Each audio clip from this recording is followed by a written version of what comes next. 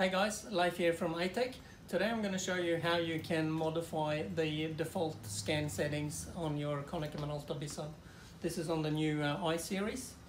So if you go into uh, the scan screen, so I'm going to go into there and I would like to change the default to be double-sided but this can be whatever you like to keep as the default setting but I'm going to keep it as double-sided and I'm going to go into application.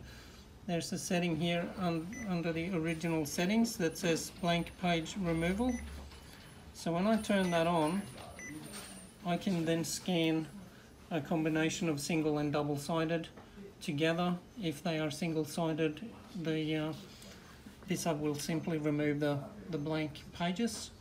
So and to save this as the new default I'm going to go into utility. I'm going to go into the utility button again. I'm going to go into the scan setting because remember this is the scan screen we're trying to adjust and go to basic setting and where it says default scan settings at the bottom I'm going to change that from factory default to use the current setting which is the current setting that the is displayed or set on the scanner and hit OK.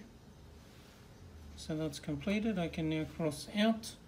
If I close out of there and if I hit the reset just to confirm you can now see that it's still set as uh, two-sided by default. So that's how we uh, modified the uh, default scan settings and uh, thanks for watching.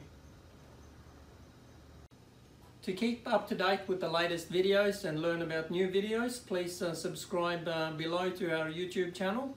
Or if you have any comments or questions about any problems you may have or uh, things you'd like explained, just put them in the comments below and we'll try to uh, answer it or perhaps make new videos uh, to, to, that we can publish in the future.